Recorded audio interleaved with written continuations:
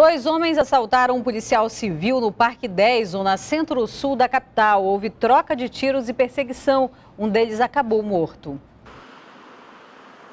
O assalto foi na Avenida Grande Otelo, no Parque 10. O policial que foi vítima é lotado na Secretaria de Segurança Pública. O policial civil estava nessa parada de ônibus quando foi abordado por dois homens armados que levaram o celular e a carteira dele. Minutos depois, ele atirou contra os criminosos e um deles ainda conseguiu fugir em uma moto. De dois suspeitos, um conseguiu fugir, a equipe já está trabalhando em cima da identificação desse indivíduo e o outro veio a óbito. Essa mulher que trabalha na área viu tudo. Eu estava sentada ali, só escutei o grito, né? Eu escutava os gritos de falar assim, socorro, ai, ai, socorro. Mas eu pensando que era aqui, né? Acho que é, o que está tá aqui dentro desse mato, ainda subi lá no muro, não tinha ninguém. Aí continuou. Aí eu vi um carro vermelho chegar aqui, saltou uma pessoa de blusa azul. Digo, mas é aqui para a rua. Aí foi quando eu vi. Quando eu cheguei, ele estava com a cabeça para cá, os pés para o lado do, do, do, prédio e os policiais ao redor dele. A delegacia especializada em roubos e furtos investiga o caso. E hoje a Polícia Federal realizou uma operação de combate à pedofilia aqui na capital. O repórter Juscelio Paiva acompanhou. Juscelio. É isso mesmo. Os policiais federais saíram para cumprir seis mandados de busca e apreensão e também dois de prisão. O objetivo da Operação Lopus Agnus foi o de combater os crimes de pedofilia e também a divulgação de imagens e conteúdos pornográficos contra crianças e adolescentes na internet. De acordo com a Polícia Federal, uma pessoa que não teve o nome divulgado foi presa e outras quatro foram trazidas até a sede da Superintendência da PF para prestar esclarecimento. É, segundo a Polícia Federal, as investigações apontaram que um grupo atuava divulgando imagens e também conteúdos em vídeo de crianças e adolescentes na internet. Agora, um caso mais sério é de um homem que é suspeito de ter violentado sexualmente pelo menos 10 crianças. Ele usava de um cargo que ele tinha em um grupo religioso para atrair as crianças. Agora, o que é mais sério é que a suspeita é que todas as vítimas eram da família dele. A operação deve continuar para chegar até o restante dos suspeitos. Hoje pela manhã, a Polícia Federal apreendeu alguns materiais, é, como imagens e também conteúdos pornográficos. O nome da operação Lopus Agnus, que significa lobo e cordeiro, faz uma alusão à fábula de Caio Júlio Fedro, escritor que introduziu a fábula na literatura, dando ares mais modernos. De acordo com a Polícia Federal, todos os suspeitos aí que forem indiciados ou presos vão responder pelos crimes de pedofilia e também pela divulgação de imagens e conteúdos pornográficos na internet. As prisões é, variam entre 10 a 15 anos de prisão em regime fechado. Juscelio Paiva para o Jornal em Tempo.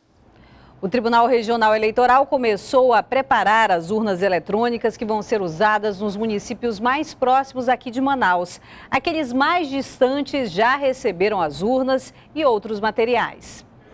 A preparação vai até o dia 30 deste mês aqui na capital. Ao todo, 230 técnicos vão trabalhar para testar os equipamentos. Por questões logísticas, nós separamos realmente municípios que estão próximos de Manaus ou que não têm condições técnicas de receber as urnas eletrônicas e serem lá preparadas, são preparadas aqui em Manaus mesmo. A gente chama de Polo Manaus. Só em Manaus são 3.500 urnas eletrônicas. Ao todo, são 4.778 urnas que estão sendo preparadas aqui no TRE Amazonas com as informações dos candidatos e dos eleitores para 24 municípios, contando com Manaus. A distribuição das urnas eletrônicas começou em agosto. As cidades que já receberam começam amanhã a preparação para o dia da votação. A urna eletrônica ela recebe tanto os, os eleitores, né, nós de cada sessão eleitoral, os candidatos, claro, e o software da urna eletrônica, aqueles mesmos softwares que foram auditados, lacrados, assinados eletronicamente lá em Brasília. E o importante é o seguinte: nesse momento, então, tem uma, é gerado um código de segurança que assegura que apenas a urna que foi preparada neste momento por esta equipe vai ser totalizada no dia da eleição 2 de outubro.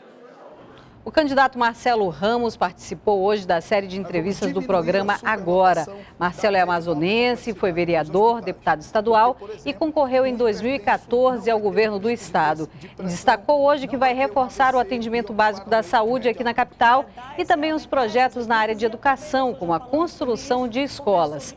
Amanhã a rodada de entrevistas com os candidatos a prefeito de Manaus encerra com o candidato Arthur Neto do PSDB. O programa Agora começa às 10h50 da manhã. Confira agora a agenda dos candidatos à Prefeitura de Manaus para amanhã. Henrique Oliveira, do Solidariedade, pela manhã participa de caminhada no Alfredo Nascimento. À tarde faz caminhadas no Japim e no Crespo. Issa Abraão, do PDT, pela manhã cumpre agenda parlamentar em Brasília. À noite tem reunião com lideranças comunitárias no São Jorge. José Ricardo do PT pela manhã faz panfletagem no Distrito Industrial. À tarde tem caminhada no Jorge Teixeira e à noite se reúne com professores no Parque 10. Luiz Castro da Rede faz caminhada à tarde no Monte das Oliveiras. Marcelo Ramos do PR à tarde tem reunião com pesquisadores e ambientalistas e depois faz caminhada no Santo Agostinho e Crespo. À noite se encontra com taxistas na Ponta Negra. O professor Marcos Queiroz, do PSOL, pela manhã grava programa eleitoral. À tarde faz panfletagem na Feira do Santo Agostinho. E à noite tem atividade no centro da capital. Serafim Correia, do PSB, à tarde faz caminhada na Zona Norte. À noite tem duas reuniões, uma na Zona Oeste e outra na Zona Sul. Silas Câmara, do PRB, tem reuniões durante todo o dia com as lideranças comunitárias aqui na capital. O candidato Arthur Neto, do PSDB, não divulgou a agenda até o fechamento desta edição. Em Mandacapuru teve manifestação hoje. Os servidores da saúde foram às ruas em protesto. Os salários atrasados e a falta de remédios, além de outros materiais nos postos de saúde e hospitais, foram as principais motivações. O protesto começou bem cedo é que médicos, enfermeiros, dentistas e outros profissionais da saúde estão há quatro meses com os salários atrasados. Ontem, eles ficaram sabendo da, da, que a gente ia fazer esse manifesto, já saíram avisando que em massa ia ser demitido. Né? E mesmo assim nós estamos aqui. A Polícia Militar acompanhou de perto. É que os manifestantes a favor do prefeito Jaziel Nunes, conhecido como Tororó, também foram às ruas. Marcelo é ex-diretor de um hospital do município, mas, segundo ele, foi demitido porque discordava de uma cooperativa criada para os servidores. Na verdade, quem administrava isso a Secretaria Municipal de Saúde, nunca deram condição mínima da gente trabalhar.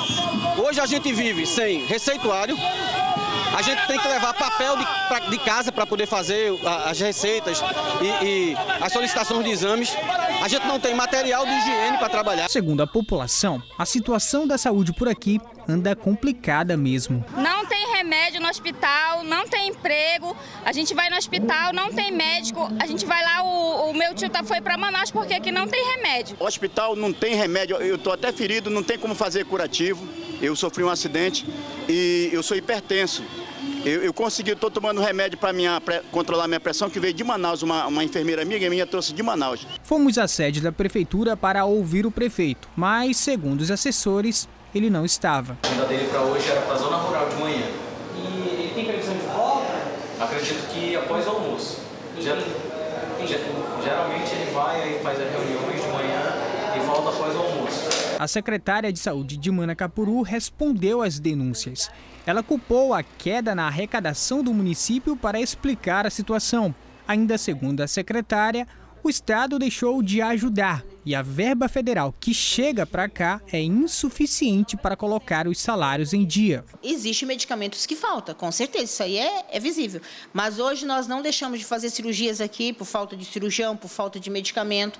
Nós temos o medicamento básico dentro do hospital, sim. E sobre os medicamentos, admitiu que alguns estão em falta. O governo federal, o que eles mandam é um incentivo salarial. O dinheiro da assistência farmacêutica, desde o ano passado, do Estado que não vem, que é para compra de medicamento do hiperdia, que é a pressão alta, e para o diabetes. A situação já veio parar aqui no Ministério Público. O promotor de justiça responsável pelo caso não quis gravar entrevista, mas disse que a situação foi denunciada pelos servidores. O MP já pediu por duas vezes esclarecimentos da Prefeitura sobre o atraso de salários, mas por enquanto não teve respostas. Agora, o prefeito tem 10 dias para se explicar.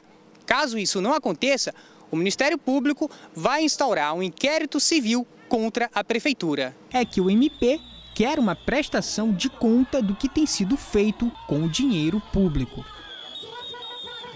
Jornal em Tempo volta amanhã, 18h15. Até lá.